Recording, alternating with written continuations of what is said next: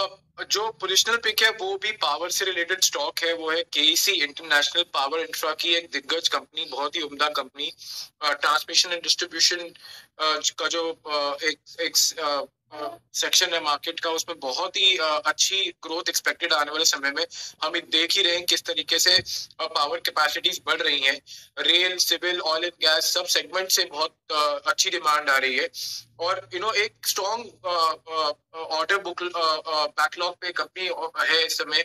तीस हज़ार करोड़ तक के ऑर्डर बैकलॉग हैं और और आने वाले साल भर में वो और बीस हज़ार करोड़ तक के ऑर्डर एक्सपेक्ट कर रहे हैं। सो so, मार्जिन स्टेबल है।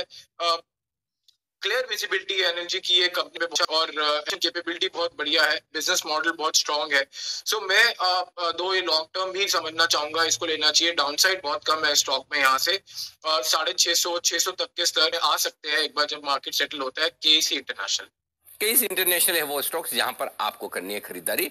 चार सौ बीस रुपए के आसपास स्टॉक ट्रेड करता हुआ दिख रहा है। यहाँ पर तेज़ी करके चलें।